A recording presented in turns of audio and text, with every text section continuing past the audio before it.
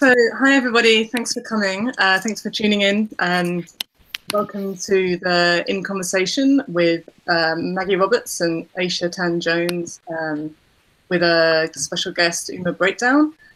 Uh, we're joining. Um, they're joining us, which is Res, uh, live online to talk about their current exhibition, which is uh, a commissioned show at Res in Deptford. Um, my name is Lucy Sames. I'm one third of Res. Res is a yeah, it's a gallery and research space in Deptford, which we began in uh, in early 2015, uh, which is co-curated by myself, uh, Helen Kaplinsky, and Sarah Jury. Um, so today, um, maybe I'll just do um, really quick introductions to everyone that's online, so that um, we can see everybody and we can go through names and pronouns uh, and what everyone's role is going to be in the discussion. So, as I said, I'm Lucy Sames. Um, I use she, her pronouns, uh, and I'm one part of Res. Uh, then there's Helen. Hi, I use she, her pronouns. And you're one part of Res. And one part of Res. and there's Sarah. Hi, I use she, her pronouns, and I am the last third of Res. um, and then there's um, Ayesha. Hi, I use they, them pronouns, and I'm Ayesha, an artist. One of the artists in the show. Yep, great. And then this is Maggie. Hi, I'm Maggie. I'm the other artist in the show, and I use uh, she, her pronouns. Okay, and this is Uma, Uma Breakdown. Hi, uh, I'm Uma. I'm uh, they and them. Uh, Can you speak up a bit, Uma? Oh, sorry. I forgot pick up the microphone. Um, but just, just like just talking at the screen. Um, yes, hi. I'm Uma. I'm uh, I'm a they and a them, and uh, I'm uh, yeah an artist and a researcher. Uh, kind of not really in the show, but helping in some way, writing a thing. Thank you. Okay, great. Um, so we'll do proper bios in a minute, but um, for the artist and for Uma as well. Uh, but I just wanted to start by, um, by introducing the wider project that um, Ayesha and Maggie's show is part of, uh, and talk about um, the the process that we've gone through a bit in developing this as a program. Uh, so um, well, actually, maybe first, sorry, maybe first I'll talk a bit about what we're going to do in the session. It makes more sense to do that bit first. So um, we're going to talk for about an hour. Um, we'll introduce the um, the projects, like I said, and the artists more fully, um, and then we'll have a um, a conversation between all six of us, uh, mainly focusing on um, Ayesha and Maggie and their work in the show, but also their wider practices and the process of them working together. Um, and then um, at any point, if anyone's got any questions, anyone from the audience or from live um, from the live stream has any questions that you'd like to pose to anyone specific, um, then please do put them in the um, the chat box, which is on the right of the um, of the screen in YouTube. Or you can put them, if you have problems doing that, then you can put them in Facebook events in the comments, or you can send them by email. And the links to the Facebook and our email address are in, in the information section uh, on the YouTube stream. So um, we'll be monitoring all of those different out, outlets. So if you have any questions or comments that you'd like to add, then um, we will come to them. Uh, we'll try and address them if they become relevant at the point in which we're talking, or we'll just put them all at the end and see how that kind of goes. Um, so yes, if you have any questions, do add them. Uh, so, okay, so uh, Alembic 2, which is the show that um, um, Maggie and Ayesha are, um, are in, is uh, a show that opened re very recently at Res. It's still open.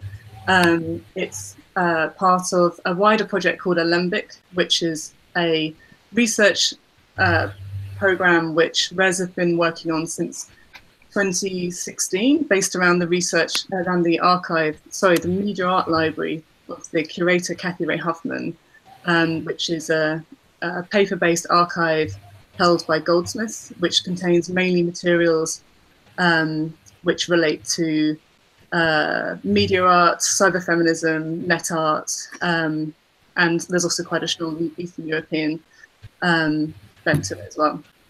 So um, we had the archive installed at Res for um, about probably nearly a year, I think, and we had the um, as a reading room, and we programmed a lot of events uh, based around the materials, uh, the events and screenings um, based around this the material in the archive and the thematics that it brought up.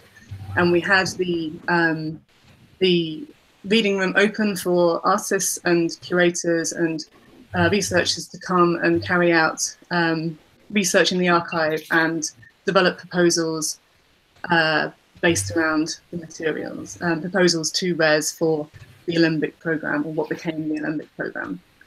So, um, so after about a year of development, um, Alembic, the actual public program, began in January, uh, and it's made up of um, three intergenerational duo shows, um, which uh, the first of which was a duo show between Faith Wilding and um, Elizabeth Mputu.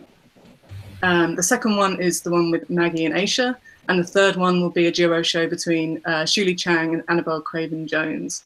Um, um, as well as the exhibitions, there's also a publication which we are currently working on, which will launch in June, which features new, um, newly commissioned essays uh, and images from the shows um, and various other materials that's been produced from the Alembic project. So that's coming out in June. Um, and then there's lots of other events based around the three different shows. So um, so Alembic 2, uh, the subtitle of which is Chrominance, is um, this show uh, which was, so it's conceived as the second show, basically. Um, and it's, and the, the artists were selected through a process of um, open call and also from um, by invitation as well to respond to these materials. Um, so the work in the show um, so, so the, the intergenerational aspect of it is that we paired an artist who is featured within Catherine Huffman's archive uh, with an artist who has who is um, so like a more established artist who's featured in the archive alongside a um, a younger artist that has like a, a, strong affinity with that. So we're kind of trying to develop these um, these really um, kind of fruitful relationships between artists. So um, so chrominance is a is this um, we describe it as a post-Anthropocene ecocide narrative. So it's this. Um, I can show an image actually. It's um, it is. Let me just share a picture of the install uh, in case people haven't seen it. Um, it is. Let's see if I can just do this. Um, yeah. So hopefully you can see that image. Um, it's uh, this is an install shot from Res. So the work in the foreground, uh, which the sculptural works, are um, by Ayesha. So it's a. Um, I mean, I'm not going to say too much about the show itself because I'd like the artists to introduce the works themselves. But just to give you a sense of it, um, the the sculptural works is three kind of stone forms surrounding a pool, which is Ayesha's work, and then there's a video projection, which is the, the commissioned um, film by Maggie Roberts uh, called Miasma.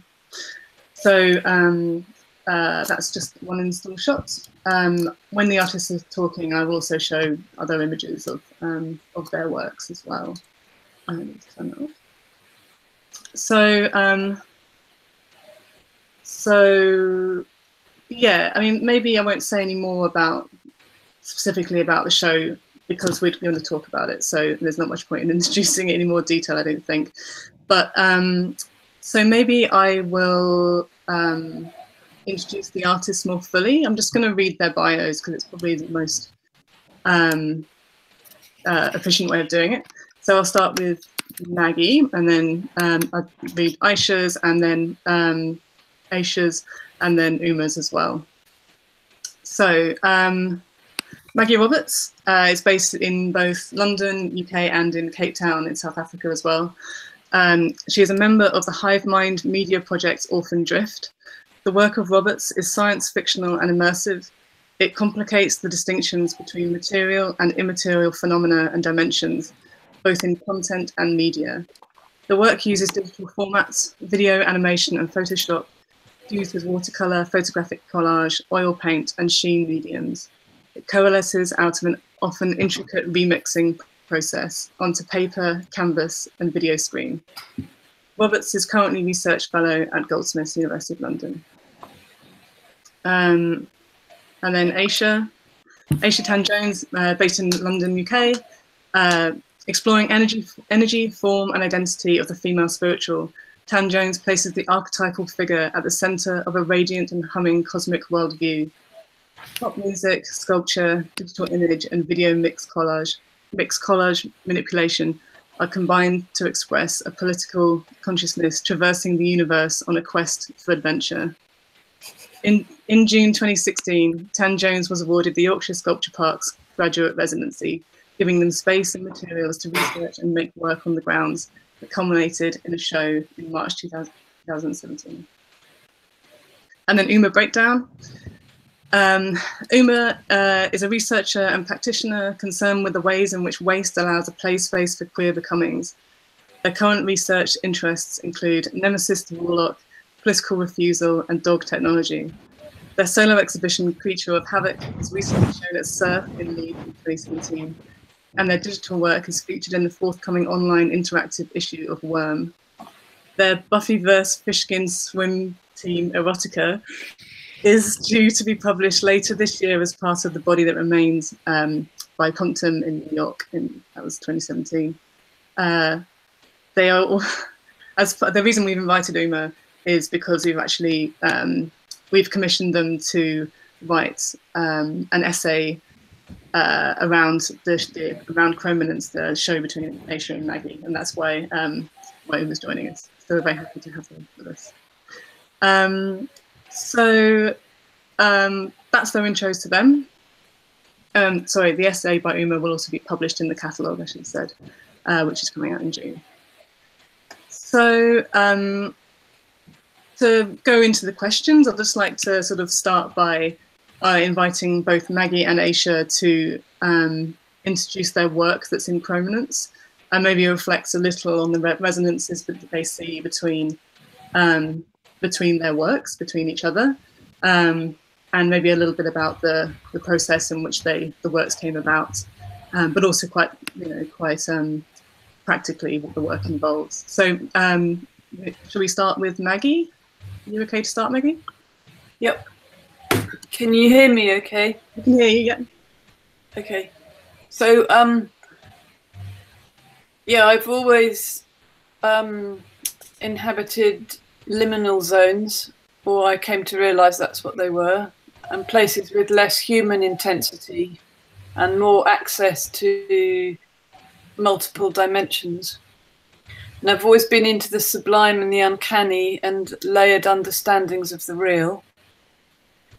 As Orphan Drift, Ranu Mukherjee and myself have been working on a project for the last few years called Unruly City, which is about um, manifesting scenarios where um, fictional virtual versions of uh, uh, environment uh, exist with the actual environment. Um, and it's been getting more and more about that Timothy Morton phrase hyperobjects, like so sort of intimations of climate change and catastrophe and uh, reclaiming agency for change and evolution that's not human centric. So anyway, uh, I came to that pro this project out of that sort of space, and um, the terraformed edgelands of Cape Town, where I uh, have my studio, involve a lot of traffic of and flow and slime and dispossessed homeless people and they're a site for what are called muti rituals, like medicine summoning rituals in traditional African religions. Occasionally killings and massive landfill and water processing plants. the geography seemed perfect for the miasma idea. The water hyacinth blooms have suffocated the canals. Um, and that's imagery that took me to the sense of this sort of suppurating blossom in the film. And I was reading two books, one called The Animation of the Inorganic and one called Prismatic Ecology, when I was invited to go through the collection, Kathy Ray Huffman collection, where I found Mark and Reza's Trash Wastelands text, which says. Can I just interrupt and say that's Mark Fisher and Reza Negarestani, yeah? Yeah, oh, beg your pardon. No, that's fine.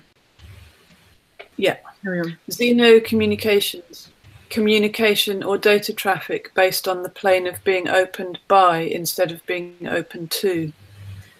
People are investigating the network culture of trash or human dependency on non human communication clusters. Such approaches may be based on trust or shadowed by apocalyptic forebodings. In either case, the landscape, the dynamically networked communication currents in matter itself, is an actor. The material landscape and its currents, the dark and vibrant matters themselves become active agents in our habitats. Here, the opposite, opposite of crystallization and glassy immobility defines the end or a new beginning. Untrammeled, autonomous proliferation. So I was yeah, very excited about that. And I decided to use the uh, contemporary machine vision aesthetics and their implications to introduce a sort of synthetic artificial world suggesting a gradual bleed into a virtual landscape. I want to melt imagery into this um, sort of unknown from human perspective, materially effective energy in this project. So it's an aesthetic experiment. And all of the machine vision thing, or Orphan Drift's always called machine vision, but here it's like the data moshing the kind of degrading that's the degrading of um, the pixel information on a screen it melts and um, lidar scanning which is the 3d scanning by um, points rather than pixels and um, yeah deep dream coding which um, i can talk about a bit later uh, anyway, these visualizations I can't predict. It's the unknown operator in the work, and it unravels and destabilizes the certainty of the human gaze, proposing a new, expansive, tactile, and fluid materiality. Um, yeah, I think that's enough. Okay, great. Thank you. Thanks, Maggie. Um, there's loads in there to talk about, um, but maybe we'll go to Ayesha next, and then we'll come back and pull out some of those things within your introduction. Yeah? Yeah. Great, thank you. Um, Ayesha, do you want to? Yeah. Can you hear me okay? Yeah. Okay. Cool. So, yeah, my installation um, uh, is a, well, it's named the Psychic Excavations, the Parasites of Pangu.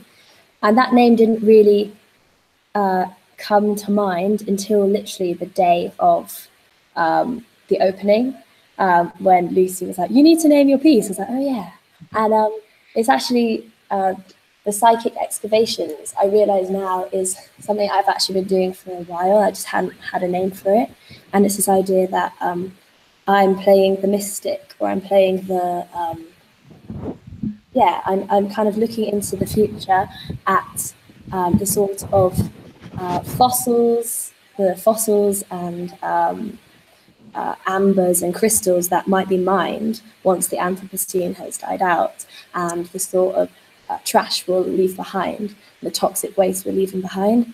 Um, so these are these psychic explorations, and I kind of have created them through meditation.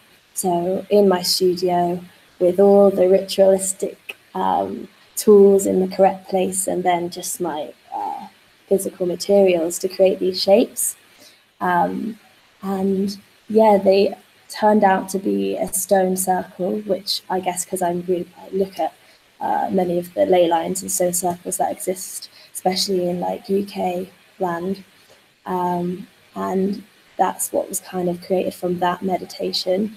Uh, the pool in the center of the room is very much inspired by this toxic lake in Inner Mongolia uh, called Baotou Lake, which is uh, a man-made eco disaster, and it's all the uh, the leftover sludge that comes from the factories in the area where they make our iPhones, electronics, TVs, and um, the the pieces of wood, which are actually leftovers from other projects. Um, the wood is, I think, foraged from uh, this one here, the more bendy one, is definitely from Yorkshire Sculpture Park. And the other more straight one, that's from Finsbury Park.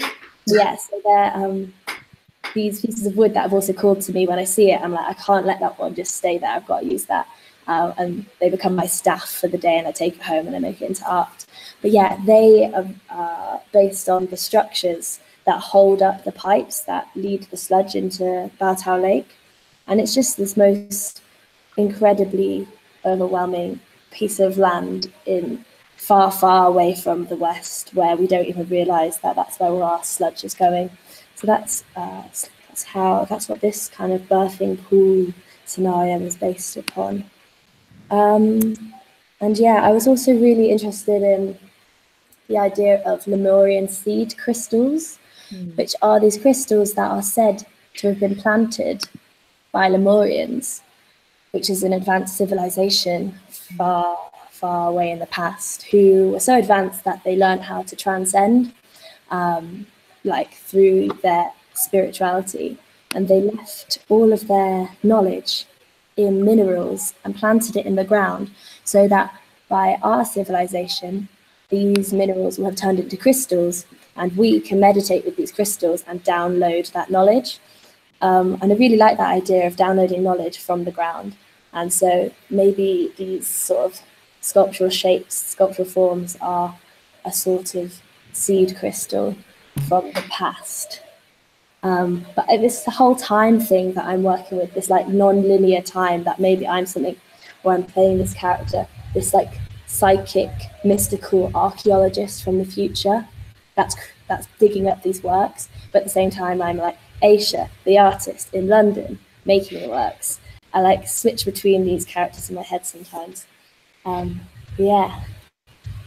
Um, what else can I talk about? I also was really interested in a lot of my work has been about um, eco disasters mm-hmm. and like eco awareness and eco consciousness from breathing and um, air pollution um, and plastic pollution. But in this uh, project, I'm looking really deeply into electromagnetic field radiation and electronic pollution and how that really is this invisible pollution that's literally penetrating our bodies, the waves from Wi-Fi radiation and from Bluetooth radiation, and not and you know the actual physical destruction that rare earth minerals that are used in our phones are doing to the earth.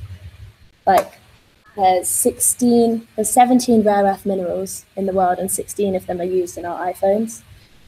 And soon in 30 years all of that will probably be the finite reserves of that is going to be gone and I don't know what we're going to do and I kind of am weirdly excited for that apocalypse to happen just to see what's going to happen to to our, to us what's going to happen when we can't update our iPhones we can't get the next generation. So yeah, this is like all the things that go through my mind uh, during this this meditation, sculptural creations. Yeah. Great, thank you. Um, that's really good to hear you both um, talk so um, so well about your work and you know how it's um, you know how it came about. Um, I wonder whether um, uh, whether you could maybe just briefly say about um, just reflect a little bit on like your like um, what you see as your um, the affinities between your work a little bit. I mean, we'll, we'll pull it out a bit more as we talk, but if there's anything particularly you wanted to say about how, because we know you did that, um, that studio visit with you both together.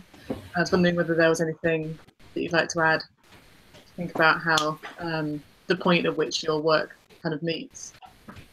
It was just literally amazing. As soon as you turned the projector on, when my sculpture's in the space, and Maggie's film just like filled that wall, and the light was just on. It was just like, wow, that was the final piece of the jigsaw. Like uh, our works coming together and meeting in a space. I was, I was, I just wanted to ring you up straight away, Maggie, and be like, oh my god. so like, it's so because obviously we were on different continents creating these works, and we met once. Um, so I think it's really cool. I think it's good curation from you guys at Res. Great. Is there anything you wanted to say on that, Maggie? Um, yeah, I I'm quite blown away. Yeah. I um, I basically I mean there's sort of surface stuff like we both obsessed with Baotou Lake, although that isn't in this film of mine. Hmm. Or there's various things Ayesha's talked about that I I also um, you know have worked with like old Chinese mythology characters and um, uh,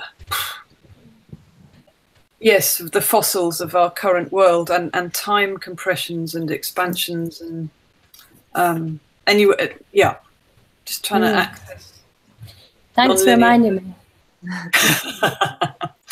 but apart from that, I'm like, I think we're both channeling, Mm. and seeing your work has reminded me of that, and I thank you for that. Like it's Aw.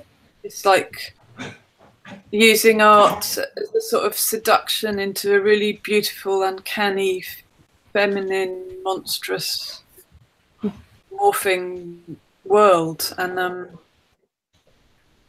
yeah, and it Yeah. we need to harn- it's harnessing all this kind of stuff to try and shift people's perspectives and their fixed identity of what the real is and what matters and yeah you, it's just the political like it's both works are really politically well mine's i don't know if mine's got enough of it yet but politically like i just used to be you know having nervous breakdowns living at greenham common in my 20s i was just so angry and now there's you and you're doing this amazing stuff that's got agency and it's reclaiming reclaim we're reclaiming something Yeah. anyway there's Mhm.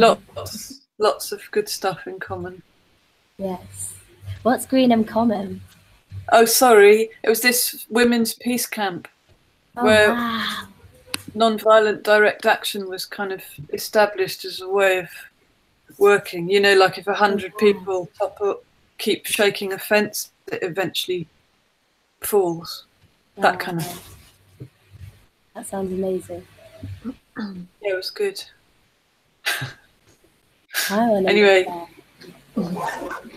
Um, so um, maybe um, we want we could talk a bit about um, uh, about the technology and how it relates to um, both of your because obviously technology is a very sort of prevalent thematic in both of your works as you both you know, very eloquently described. Um, so maybe we can talk about that a bit. Yeah, I had a couple of questions about that. Um, so maybe I'll begin with Maggie um, by asking about um, the editing and collage techniques that you mentioned.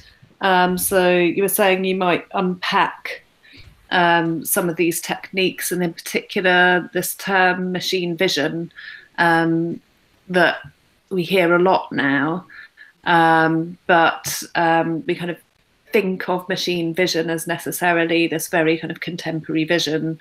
But in fact, with Orphan Drift, you were working with what you describe as an analog machine vision, and you're actually um, using domestic VHS tapes at that point um, and uh, you've always used um, a kind of painterly practice, which is analog in a sense, alongside um, the kind of harder technologies, as you might call them.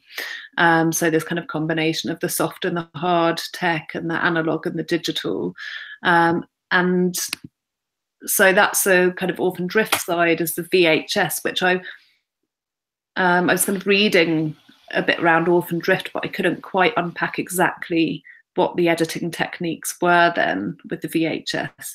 Then today you have deep dream, you have data moshing, this kind of unpredictable distortion, and you have the LiDAR scanner that you mentioned. And I'm interested in this analog and contemporary form of machine vision and how you've been working with machine vision for so long and perhaps um, you know each one of them will reflect a particular given moment in time and the politics of yeah. those moments. And I just wondered for you how exactly um, do those um, has the forms of machine vision having changed how how has that reflected the changes in politics and um, and and how is that reflected in the kind of techniques themselves and also the aesthetics they produce um, okay well uh, really quick beginning is I saw this. It's at the beginning of our book, the cyber positive book from '95. Mm-hmm. But um, I saw this um, image diagram that was all of what we can't see going towards ultraviolet and all of what we can't see going towards infrared as frequencies, perception frequencies, and um, what we can as humans see is like this millimeter in the middle of this A4 page.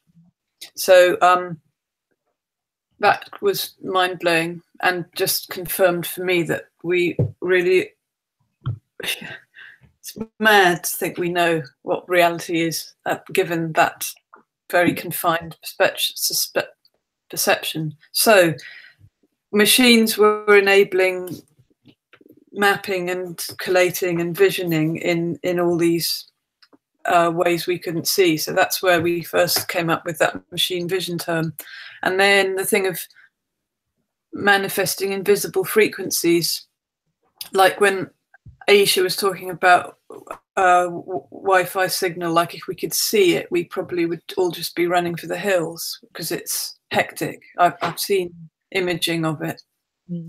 and um, but that's like a dark. I think now it's much darker. But anyway, quickly. So I uh, we wanted to manifest the frequencies that, like, take away the very male patriarchal fixed central focus vision of, you know, images on a screen, the male gaze, all that kind of stuff. And um, if you open um, machine vision capture methods like VHS tape to disruption, uh, which one would do by waving TV aerials around or playing the tapes over and over and over, fast, fast, fast, um, like at high speed, and they just degrade.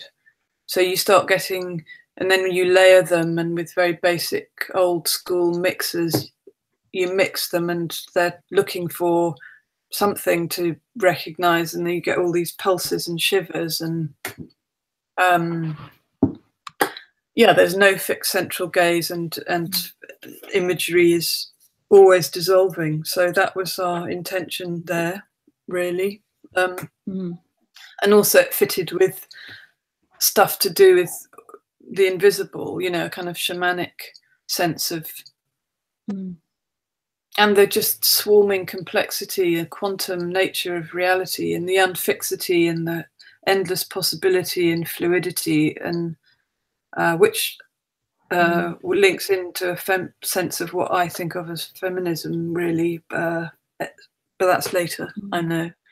Um, so, so, in a sense, you're producing the politics through the machine vision. It's not just kind of reflecting. Yeah, but as artists, it was also very yeah.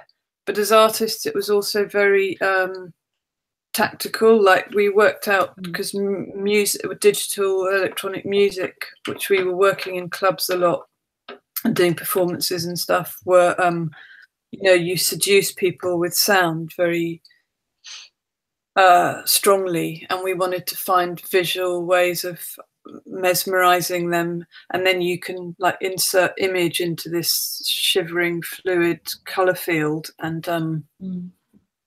i don't know they kind of take them on subliminally or they don't know what's hit them or they're a bit Mm. shocked or they're fascinated so Mm. you know we had a lot of kind of art concept what we wanted art to be doing as a Mm. immersive space a bit like sound in um, dance music so uh, that was another aspect of machine vision you know it's like faster and more complex and layered and um, uh, flowing what have i got? Uh, feedbacking magnetic fields made visible and warping and juddering and all of that mm. playing with time and space and haptic ti space you know when you've got a sort of you're zooming in macro micro tactile.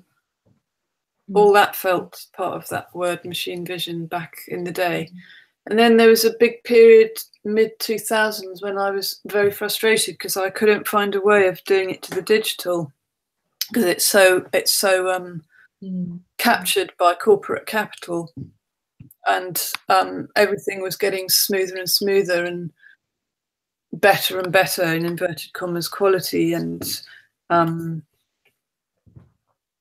you know texture and some sort of materiality was really not what was being um, sold and it's only through meeting younger people who've been playing with data moshing or um, uh, are working in LiDAR scan and 3D environment modeling, but for really boring jobs, like, you know, for architect firms, marketing firms, not the data moshing. Mm. That stays hacky. But most of these other techniques are absolutely corporate. Um, and that's why I say things. I was just going to ask if you could describe the process of data moshing before you move on. When you say that's the Oh, one that's well, hacky and not corporate. we're cheating. We've just um, used these YouTube um, f- things where you can, like, an image is a screen frame is made out of um, two interlacing fields, and you basically take out one field, and then you get this broken image information in pixels. Mm. But I was going to mention if anyone wants to see the best use of data moshing ever, it's that Jeremy Shaw video, The Liminals, where which I I mean I wish I'd made that basically. but uh, the idea of this cult who are trying to fuse machinic unconscious on a kind of Deleuze Guattari vibe. I really can't explain that, but um they're they're trying to machine what fuse human consciousness with artificial intelligence or something like that. Anyway they do all sorts of yoga and shamanic practice and meditation and then they finally and they they get they've got a I think they've been injected with some nanobot stuff. Anyway they they um end up melt going into kind of synthetic meltdown and that's achieved with very um, professionally advanced data moshing because you can basically take a, a, frame image, a frame of an image, and you make it into a word, a JPEG into a Word file. So you've got all these code things, and then you disrupt the code, and um, you can control, you know, a face melting. I, I, I don't have I mean, I would love to be, have the money to um, employ someone who's able to do that, but it's fine. I'm good with flow for the moment. But the fact that this is possible is very exciting. And if it's you, all these techniques like the deep dream code stuff as well, which is quite gimmicky, um, if it's used like in the liminals, or I'm trying to do in this, to, to actually be the degrading, swampy, miasmic complexity of matter. It's trying to make it have a material language or it's communicating as a visual um, avatar mm. like it's chan it's it is something it's doing something it's not just a kind of you know facebook mm. uh, gimmick with lots mm. of likes you can mm. reclaim it from that when i say corporate i just mean social medias I never predicted social media. I never, I just never, I never thought that's what we'd get. But it's so interesting hearing you speak about um, this uh, kind of dip in the 2000s when there wasn't necessarily an opportunity to um, interject or reclaim in the way that you're able to do now through these techniques such as data moshing. Mm. Um, so I think, um, yeah, it's, it's, super interesting hearing you speak about that trajectory and actually maybe there's like a bit optimistic sense in which, um, you know, if you give a technology enough time, then there's that opportunity for it to break down and something new can emerge. Yes. Um, as a proposal, uh, which I think ties into the maybe the overall proposition of the exhibition that you're both working with, with this kind of reclaiming this trash and um, then finding um, new propositions for it. Mm. So just bringing in this idea of a kind of ruined image um, of technology that uh, this kind of glitchy editing style in Maggie's work which is about a breakdown of an image and then a production of a new image or new politics. And this kind of makes me think of the way in which the materials in Ayesha's Ayesha's work, um, the materials that compose your sculpture, they're these kind of found, discarded materials that kind of compressed amalgams of trash um, that could also be considered this ruin that becomes something new. Uh, and I wondered if you could talk a bit more about these materials and how they lead your work um, you know do you go on missions to collect something mm. specific or you talked about finding the sticks and um, and, and carrying them around for the day and that's kind of part of the journey mm-hmm. um, so uh, ha- what's that kind of process of um, collecting together the materials um, yeah well um, i think about like 95% of the work or like the collected found objects that I use um, are either skipped or charity shopped or car booted. And I like I'm like a magpie and I like um, see something that's my aesthetic and that's like my, my genre, I'll just collect it and it will be in a box for like years and it's really bad. And like there's moments in my life where I'm just like I'm just gonna chuck it all away. And then you know I'm like no it's an art. And then and then it eventually does find its way into an art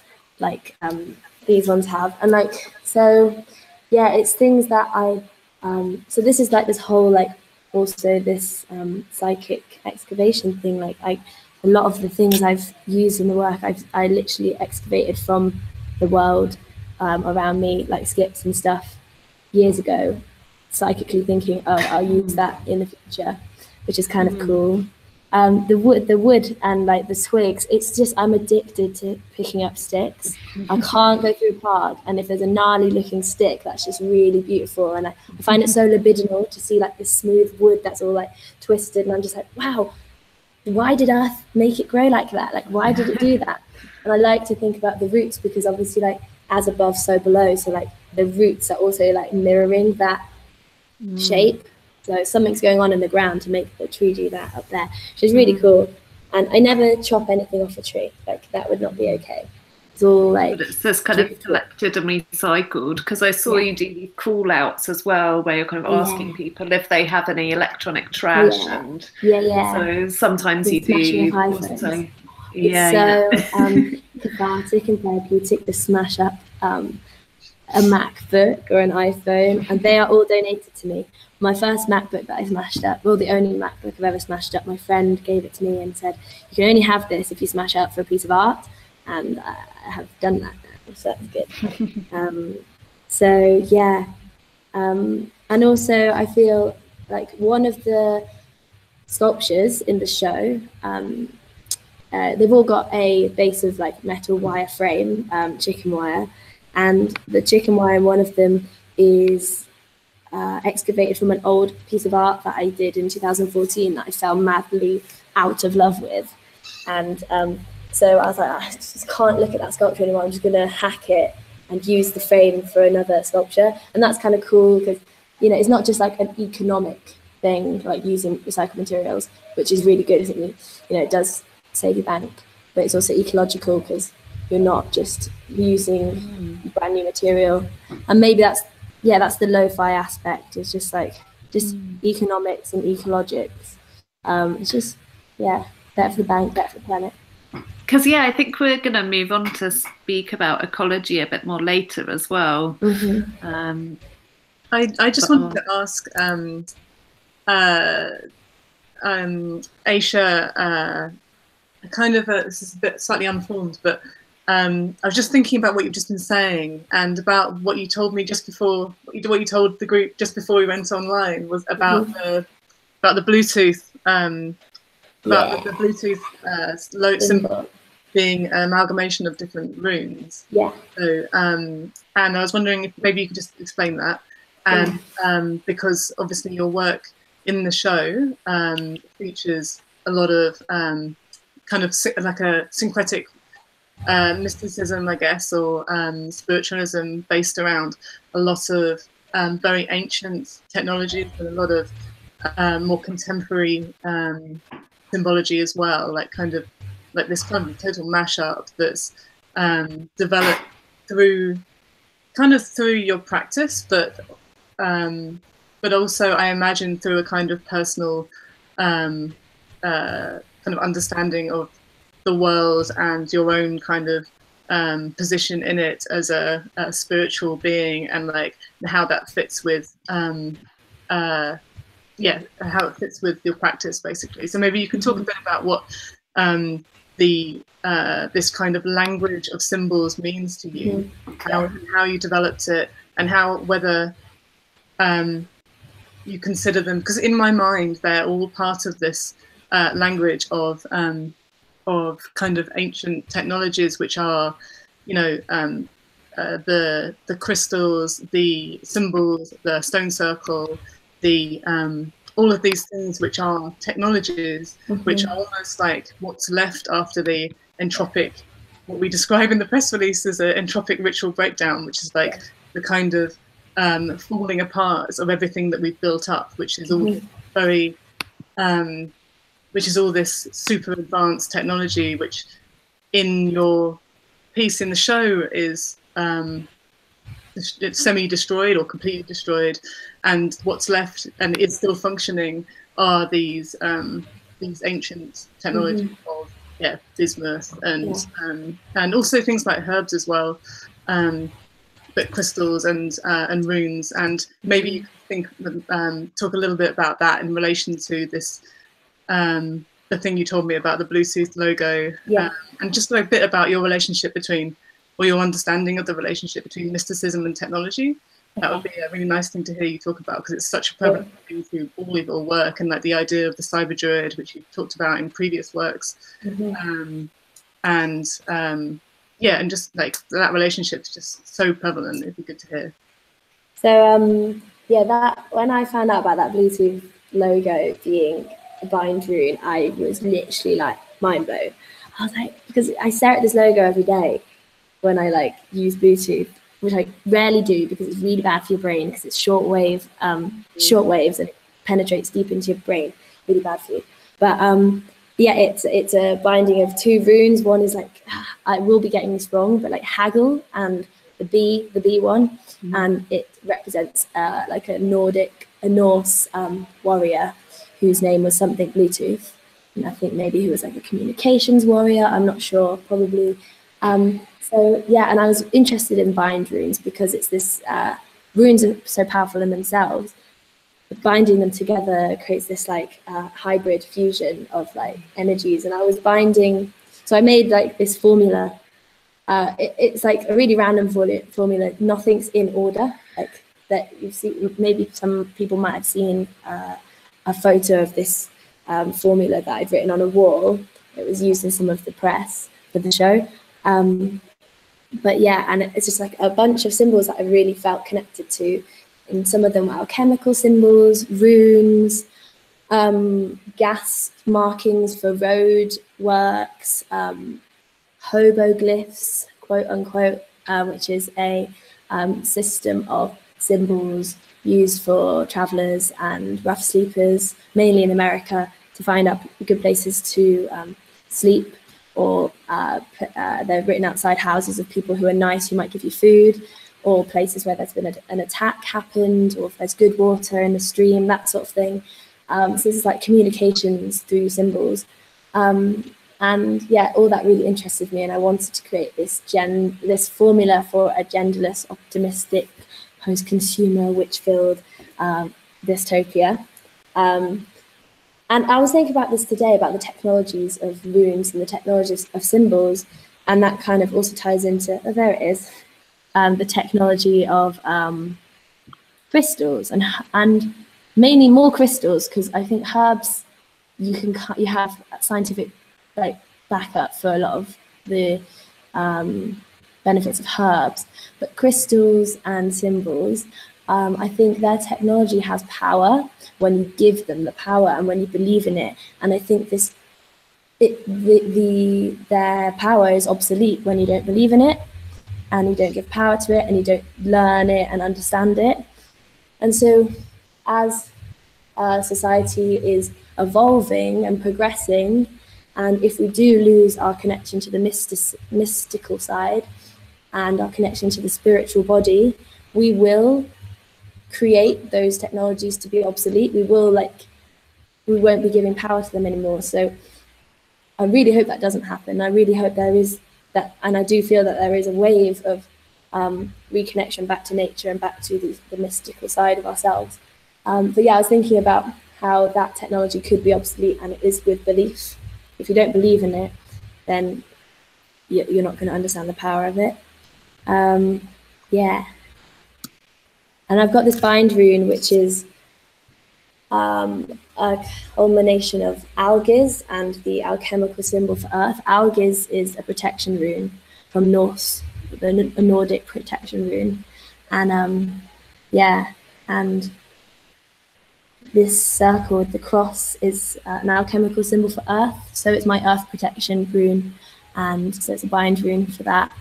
And the handprints there are the left hands. I try to only use left hands in the whole of the show just because I'm reading Ursula Le Guin's Left Hand of Darkness. Right. I'm on page like I haven't finished it yet. It smells really good this book. Anyway, um yeah, but this is the book I've been reading throughout this whole process. So yeah, I try to only use left hands and I'm left-handed.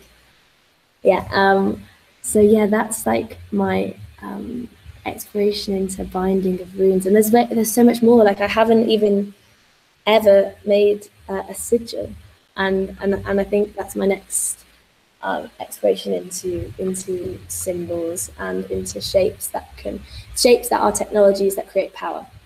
Like a circle, a stone circle is powerful because of the unity and the never-ending um, eternity, this like circular, there's no end, there's no beginning. Um, like the symbol for the sun, I really love because it's a circle with a dot in the middle, and the circle represents like what I just said, the the, uh, the whole and the never-ending whole, and the dot represents the spark of life in the center of that, and I really like that. Great, great. Thank you, Ayesha. That was really good to hear um, talk about that. Um, uh, I was wondering if um, we should move on to maybe um, uh, it, we talk about technology in your both of your works forever because yeah. it's such a yeah. it's such a um, it's so good to hear you talk about it.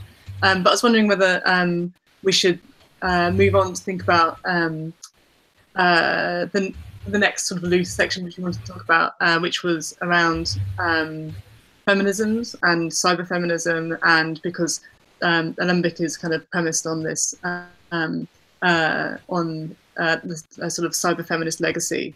So um, I thought maybe we could ask Maggie um, if you wanted to talk a bit about because I know that Maggie, even though we describe you as being um, of that generation, that I know that you don't, you very specifically don't identify as a cyber feminist.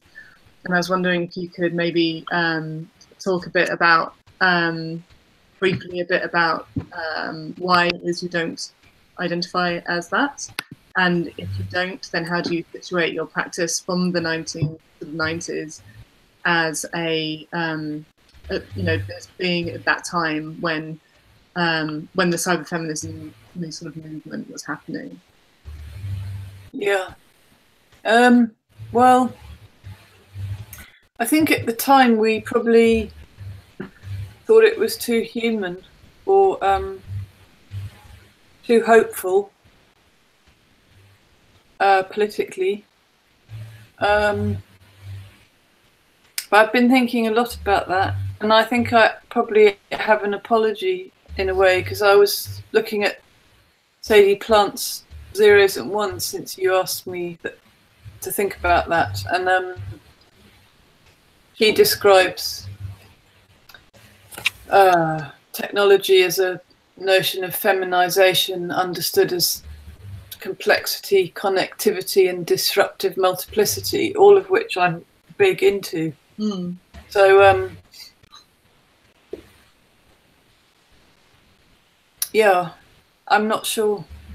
I think I didn't.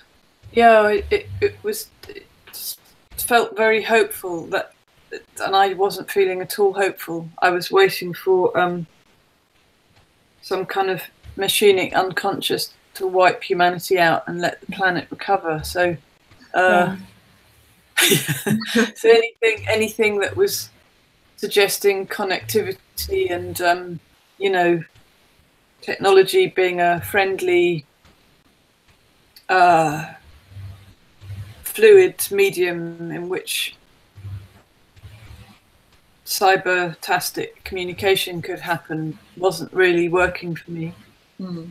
But I understand that I probably was very judgmental on, on that now.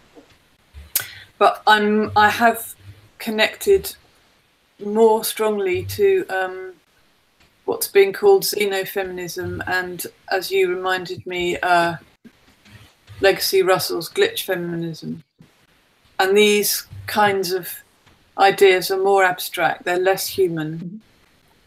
Um, and yeah, like describing the feminine as a female feminism as a channel to the blank side, to the dark side, to the other side of the cycle uh, machines, women, demons, a line on the dark side of the screen, the inhuman surplus of a black circuit, a line of flight to the desert or the sea, uh, or something that's transcending gender, passing through it as movable material, disrupting it as a conspiracy, overthrowing it as socio-cultural regime, the glitch is an idea, glitches, feedback, white noise, interference, static. They're definitely describing edges which we should be inhabiting. Slippery and glitch apparently meant slippery, slippery, which I'm always very keen to be. Mm. So yeah, that's kind of. I'll leave that because it could go on for ages. But um, is that some So- kind of an answer? Helen has Just some- Just to mention that the I don't know if um, it was said that the glitch feminism essay it was also part of the the Res program. So that's um, that's on the Res website if anybody's interested to check it out. And I don't know if you were actually quoting directly from that there. Yes, I was. I was Some- mashing yes. up. I'm so Legacy was Russell. up and Legacy Russell and Helen Hester Mm. Sure and whoever they were quoting. It's a I've actually embedded. got this right in Ah. front of me.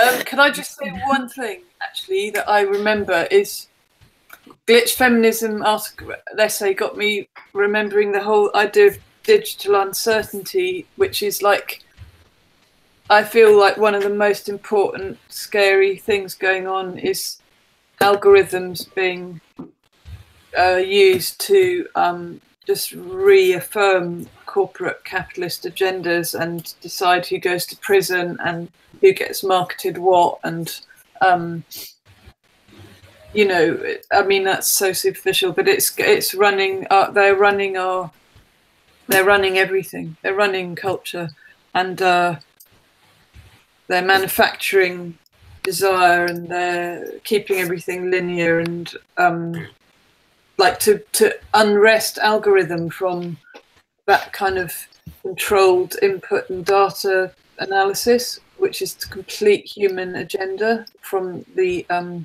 powers that be, would be absolutely amazing. And so I was thinking the idea of digital uncertainty, like all that stuff that goes on in the black box of what is what are neural nets actually computing, that's a space where we can intervene, not me, but people who um, there are a lot of people thinking about how to start doing that because uh, yeah so i sort of read glitch feminism as a very useful way of thinking because um, she says it's activated by the accident. I thought that was really beautiful. Mm. that's it. Um, so uh, to refer to that, that's so that's Legacy Russell's uh, Cyber Feminist Manifesto from 2013, um, and then her essay that she wrote for us, which will be in the publication. Um, and then, as well as that book that Helen waved, uh, the Helen Hester essay that you read was the one that uh, Helen Hester wrote for Res, which will also be in the publication. Wonderful. Mm. Um, I wondered if you could elucidate a little more. Um, uh, earlier in this conversation, you referred to um, uh, fluidity in connection to feminism. We were talking about not using uh, like um, flow, but um, yeah, just your use of that word. And I just wondered if you could expand on it. It was. Uh, um, I suppose I think of fluidity as something you know that uh, Lao Tse, the old Chinese. Um, oh my god, my brain's gone. But he wrote this book about Lao Tse Ching. Say, he wrote that book about tactics for war. Mm. And I can't Lao remember. Tse Ching. Lao Tse Ching, is it him? No, he's called Lao Tse TZE or something like that. Lao Tzu. Yeah. Yeah. Yeah, yeah Lao wrote, Tzu. Yeah. He wrote. What did he? What's this book? Well, anyway, he wrote that book, which you, I'm sure, Ayesha will, Ayesha will. Um, I can feel you knowing it. But anyway, it. googling it now. the Art of War, maybe it was mm. called. Mm-hmm. But anyway, that's all about like bending with yeah, yeah, the reeds and moving with chance and um, finding opportunity to flow rather than confront and be porous and um, yeah so there's that side of fluidity. There's also i love turbulence i love ocean i love um yeah vast liquid pressure, space, um,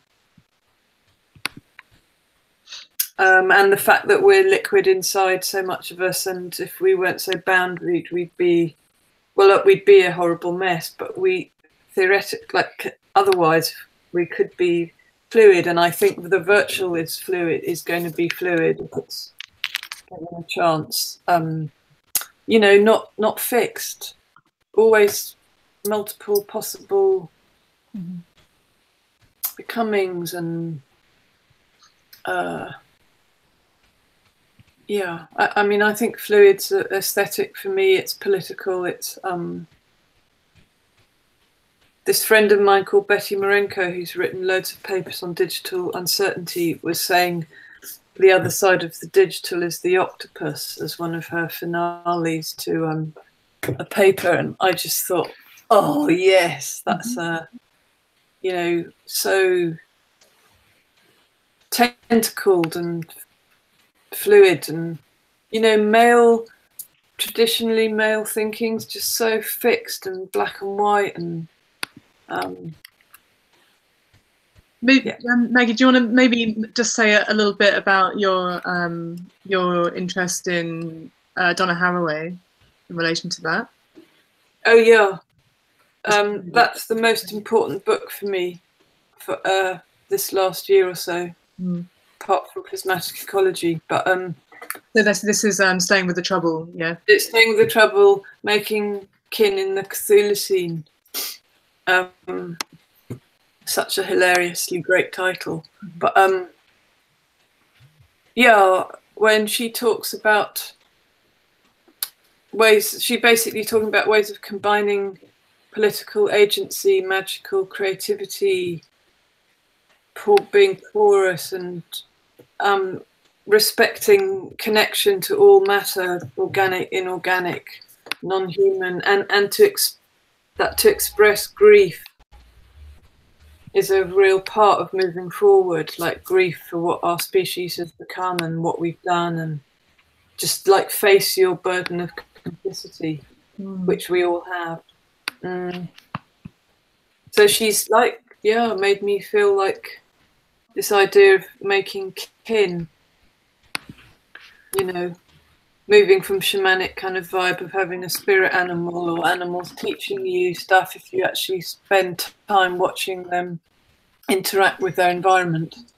Uh, yeah, and it not being about gender and human hierarchy and uh, and the science fiction vibe of um, you know like basically the symbiont children become part of the monarch butterfly because that's becoming extinct. And then once it when it's extinct they're like so fused with its dna they seem to be a, a chimeric protein form of life. So uh, yeah I, I loved it and it's a kind of decolonization really one of the buzzwords of today but um yeah because Um, I've been working with uh, San Bushmen, uh, who are the first peoples of the world, and they are the most um, trashed and shat on community of all the communities of trashed people, which is pretty much amazing. they still exist, and they are so into what they they are. They lived on a Haraway's world. They they're multiple dimensional beings they become animal they i don't know they're they're amazing and so that's given me reading that book and working with them has been a been very very important for me the last year maybe that's a good place to um, uh, talk about the really strong um, uh, message of um, ecology that comes through the work for both of you in um, in Chrominance. Um, I think Sarah had something she wanted to ask about um, about ecology in relation to um, the geography of um, the well, both the geography and uh, of Cape Town, where you made the film, and also in relation to Ayesha's work. Hmm.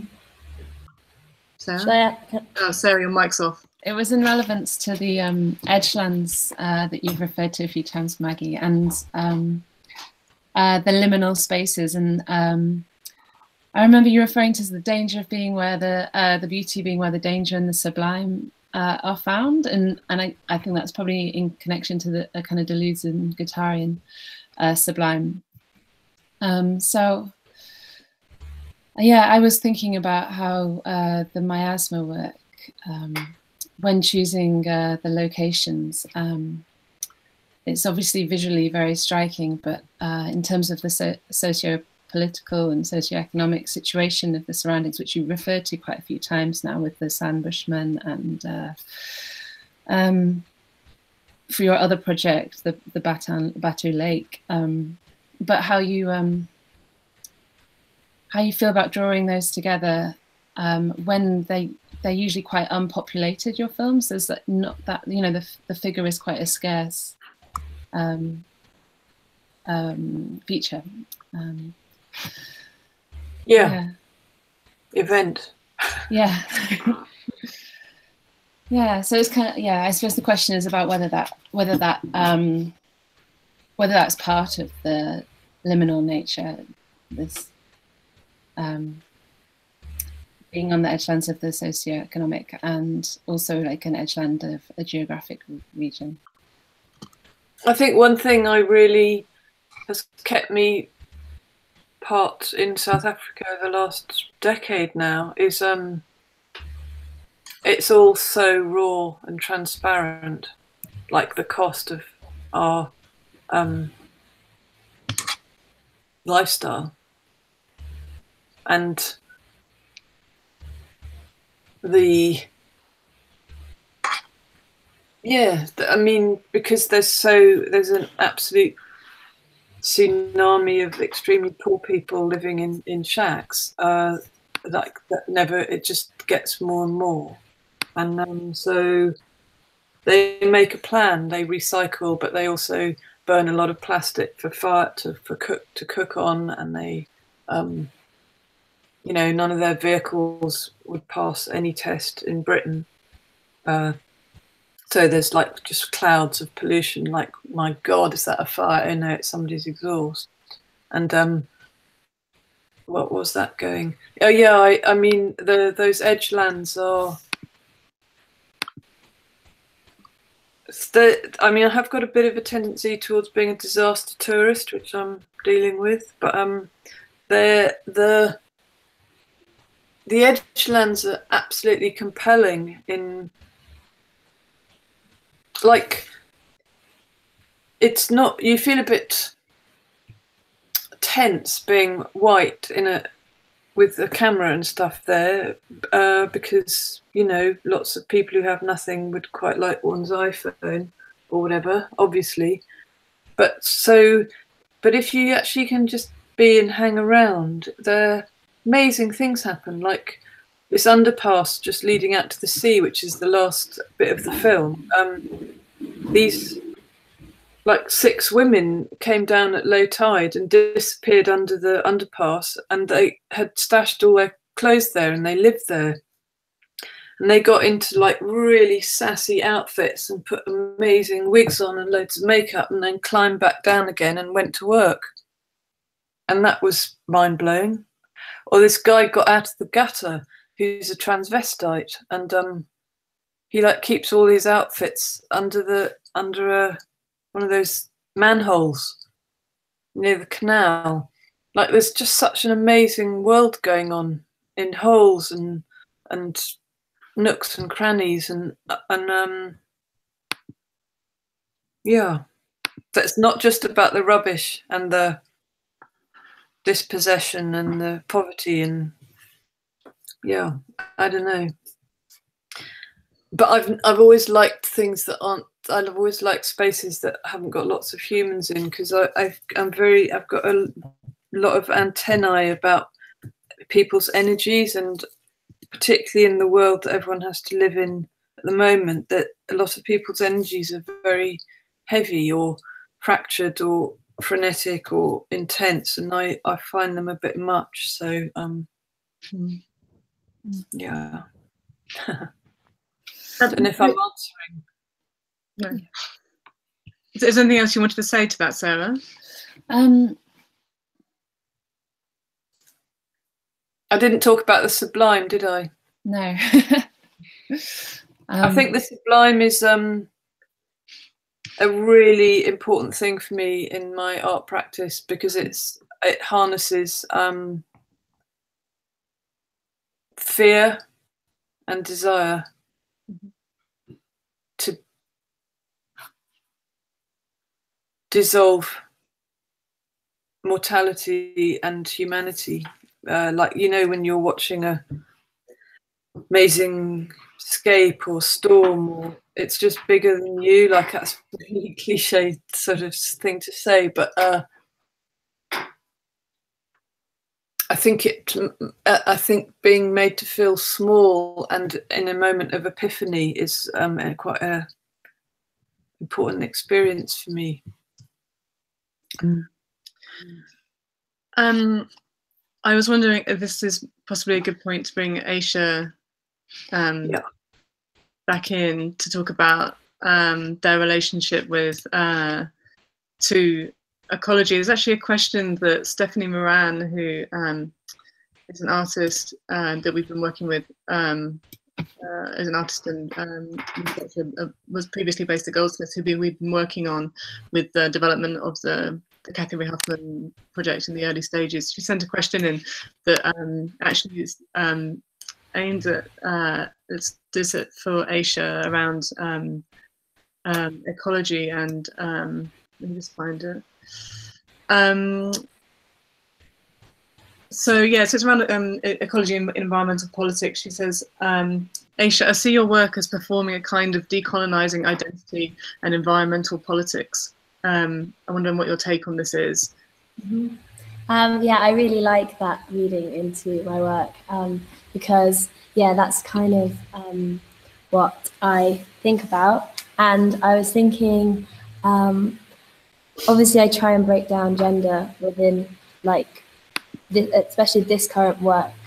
Um, it's entitled Parasites of Pangu, and I haven't actually talked about that yet tonight. And I just want to briefly talk about it. Pangu was a is a Chinese creation myth, and in pretty much all of the um, writings of this myth, um, they use he/him pronouns for this god or this spirit who has created Earth, and that was created through um, yin and yang was the chaos, chaos and uh, order, and Pangu was the spirit that held these two things apart for 18,000 years, and their body grew 10 feet, um, like every day or something.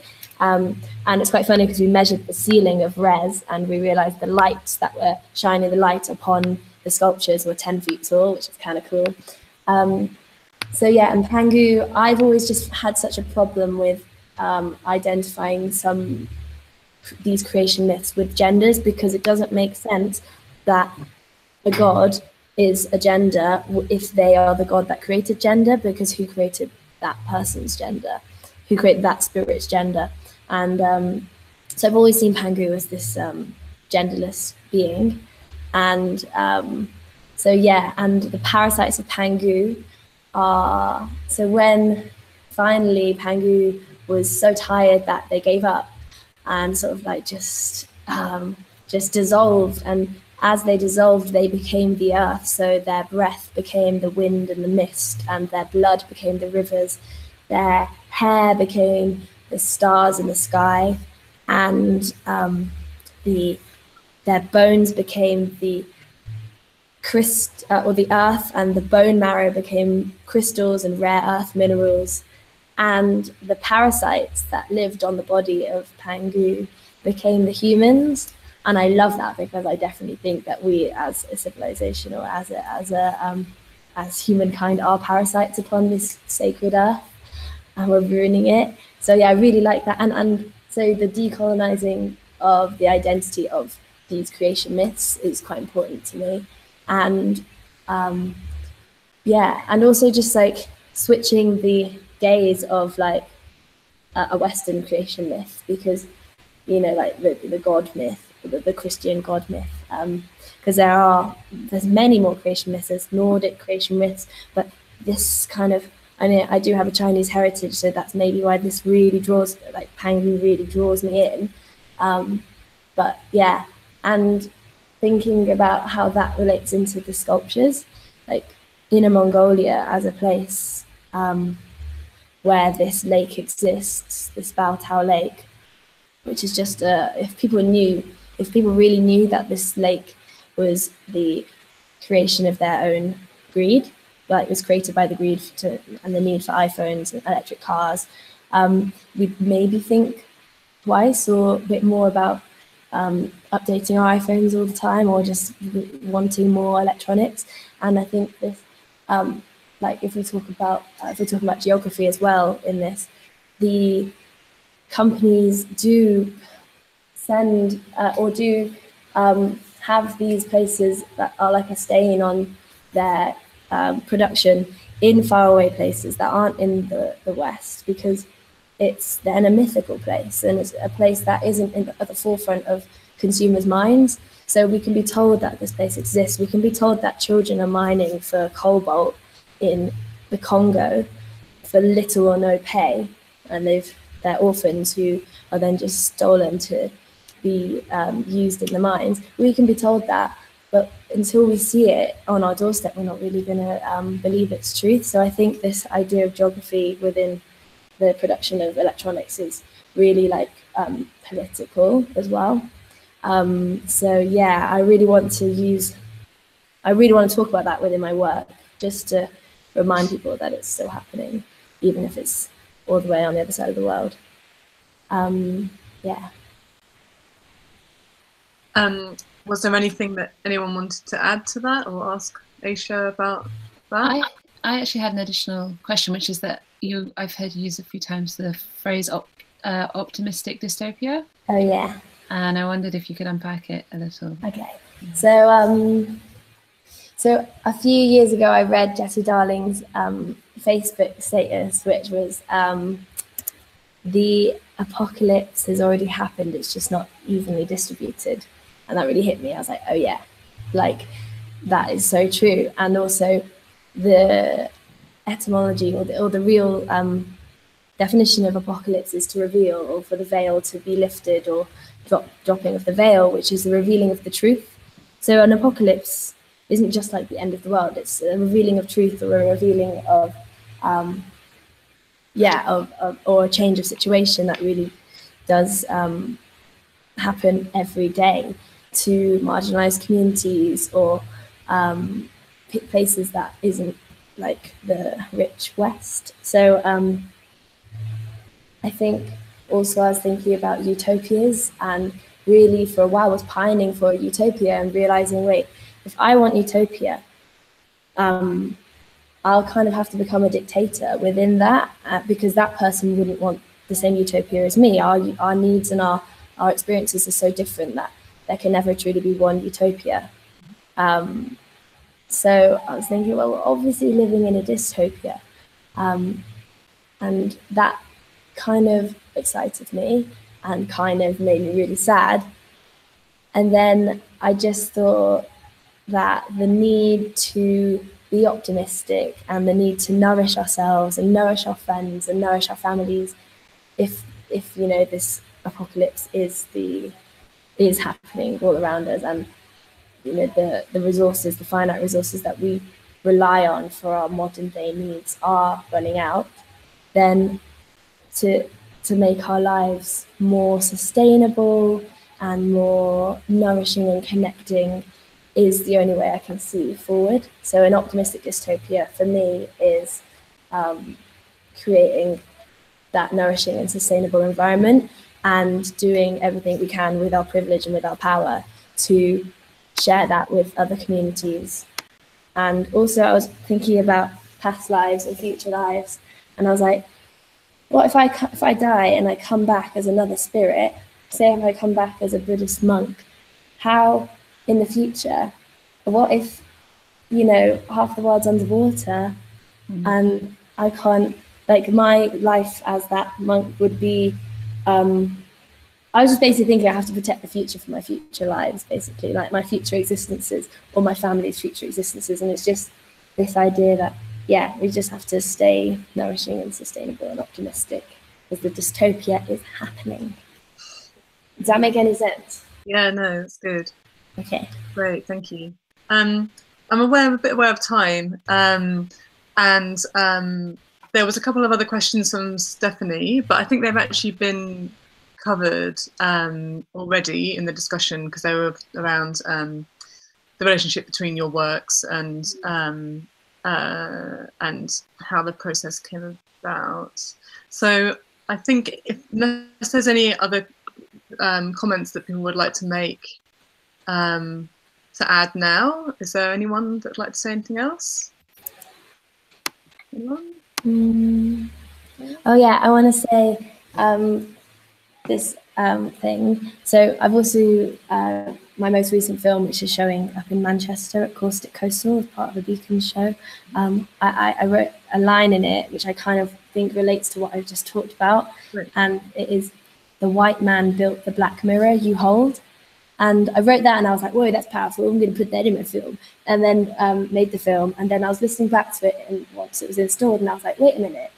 That may be true. The white man did design the black mirror, the black mirror as in the phone or the computer. Our future is literally being built by white men. Like if you look at the photos of the recent graduates from MIT, they're mainly all white men. Um, so, and that's kind of like scary, or like not, mm, yeah, scary that that's our future being built by them. But it's not being built by them. It's being designed by them, and they are sending the designs off to non-Western countries to, for, for black and brown hands to build it. And that's also really shocking, or not even shocking, just like reality check that it's not just white men building the future, it's white men designing the future and and mm, and um, at the expense of other communities and at the expense of our planet, um, building these technologies that are governing our future. So I think I just wanted to talk, just say that. No, that's great. Thank you. Can I say another Black Mirror thing? Yeah. yeah. I, Ayesha, so Black Mirror in Voodoo in Haiti is Mhm. um Black Mirror is the way forward. Black Mirror, not saying it's a different Black Mirror though. Yeah. It's through water down into the world of the ancestors who are in the past and the future and all around us. And um, it's a Black Mirror that is not. It's not got a human male white agenda. So Yeah. try and read about that one. It's the most beautiful thing. Thank you. I will definitely read about that. Thanks, Maggie. Great. Um, so if anyone else has got anything to say, then um, maybe we'll wrap it up there. Um, it's been really great to hear uh, everyone's thoughts on the show. Um, the exhibition is still on until April the 28th. Um, so please, if you haven't seen it, then do come down um, and check it out. You can watch Maggie's film in full and see Ayesha's work um, in situ. Um, and we have uh, the publication coming out in June, and the third show in the series, which is, as I mentioned, is um, is the um, duo show between Shu Lea Cheang and um, Annabelle Craven Jones. That opens on Thursday, May the 10th, um, and then runs until June. And Helen has something to say. Oh, just that um, I thought I would mention the closing event. My performance. Yeah. Yeah, I'm doing a So that's performance. gonna be on Friday the 27th. So Yeah. the second to last day. So we'll have a yeah performance from Maisha. yeah, well, Yeah, I'm really excited for that. Yeah. I actually am. I'm like, um, yeah, I'm making a costume and everything. So you should all come. Amazing. great. so both Maggie and Ayesha will be there in person. Maggie, at the moment is in South Africa, but she's going to be there too. So you'll get an opportunity to meet the artists in person. Yeah. Exciting. Yeah. Yes, thank Yeah. you for the reminder. Yeah, great. Okay, great. Well, thanks for everybody for your um, great thoughts. For um, and uh, yeah, we um, if there's any other. Um, uh, we, we- maybe we can post some of the links to the things we mentioned in the comments. Uh. Um, and this will be saved and archived on the Res YouTube channel. So great. Thank you for tuning in. Thanks, everybody. yeah, bye. Thank you. To chat. Thanks for the hangout. The online hangout.